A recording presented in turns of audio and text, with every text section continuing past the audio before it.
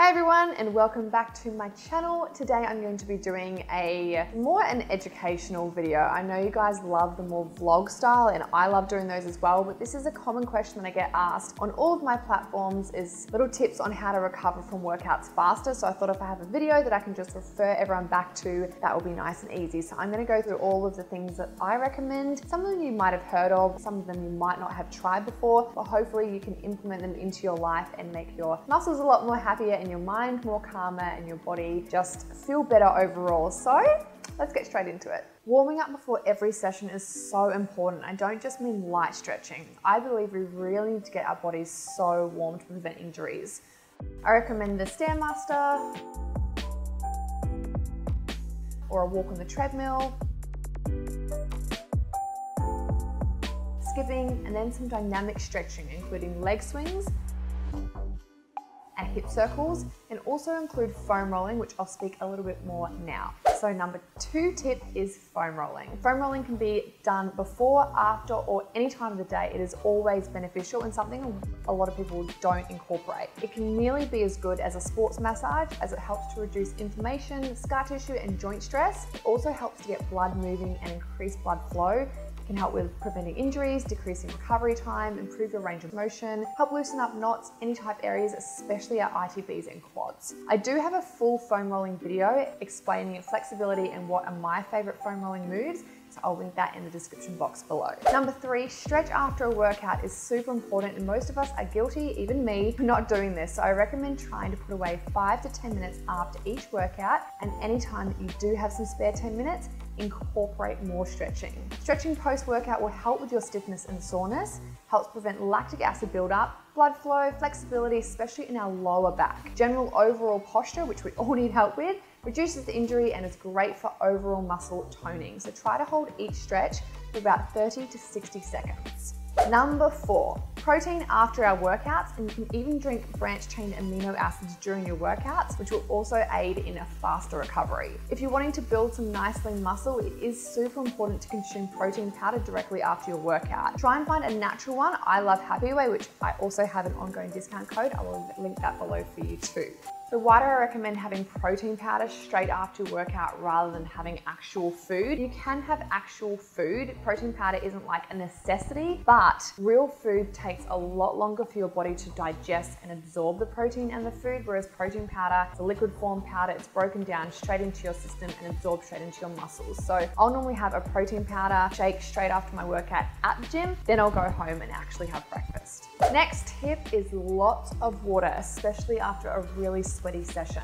After training, you definitely need to rehydrate. And remember, if we're not hydrated, your body just can't function at its highest level. And things like headaches and just not being able to think very clearly are a normal common result, which we obviously don't want. So water, water, water. There is a reason why every single health professional, whether it's on social media or someone you see, we bang on about water 24 seven because it is so important. Next tip is yoga. Yoga's been something that I've really struggled to get into consistently, but similar reasons to just stretching. I really love yoga for, for my mind, resting time as well. When we are relaxed, our body goes into rest and digest. It's great for our bodies, our digestive system, and obviously flexibility and overall health. Everyone can benefit from yoga. I really recommend trying to do at least one yoga session a week, and there is yoga sessions in my Squad app, which I will link below for you as well. Next tip is saunas. This is not a must, but I really do like adding this into my weekly routine. Overall, I believe it helps with increased circulation, which is amazing for our skin. So healthy skin relaxes your muscles, soothes all your aches and pains, and it's really good for your muscles and joints. I think it helps with stress, and studies have shown that if you do go to a sauna, you'll have a deeper sleep that night, which is always great. My next tip, I'm just obsessed with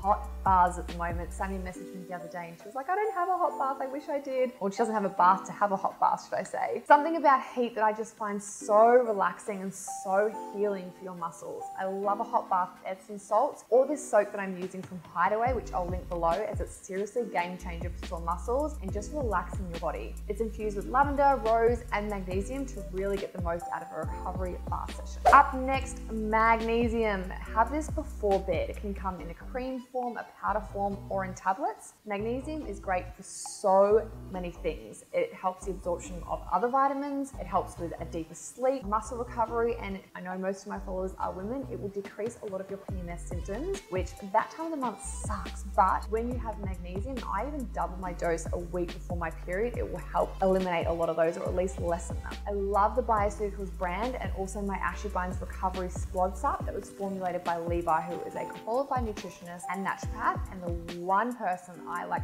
110% trust when it comes to my health. I will link the range of subs that I love below. You can find many at health food stores in creams, powders, or capsules, so find one that works for you and that you can have consistently. I know some people don't like taking capsules, so you can find a nice cream or a liquid that is like flavored with orange or lemon lime makes it a bit easier. Up next, rest. As I mentioned a lot in this video, rest is super important for our overall body goals, preventing injuries and giving our mind and muscles a chance to recover.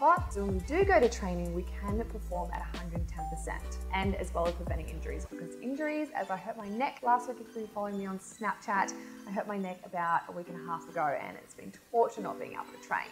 Last but not least, massage. I know this isn't something that everyone can do, but it is so good for you. Apart from it feeling amazing and really relaxing your mind and body, it does help with a faster recovery, really sore muscles, injury prevention once again, better sleep. I sleep so good after a massage. And it can help with back pain, neck pain. It can break down your scar tissue, increase joint mobility, as well as an amazing overall for your circulation. I just wanted to stress the importance of recovery and looking after your body. So even if you're not doing all of these tips, if you can try to just incorporate a couple more into your weekly routine, you'll find overall your results will be better, you'll feel so much better, and you want to be preventing injuries as much as you can. This neck injury is the first proper injury that I think I've ever had. I've always kind of had a bad knee from my dancing days back in the day, but an actual injury, I feel like I haven't had one before. So it's really made me appreciate my body and appreciate training training. I already love training, but not being able to train, oh, you don't want that. So look after your body, rest, recover when you need. Sometimes less is more. So I hope you girls enjoyed this. If you did, please give a thumbs up. At the moment, I'm uploading every Monday night and Thursday night, and that seems to be working well. So yeah, I hope you enjoyed this video and I'll see you next time. Bye.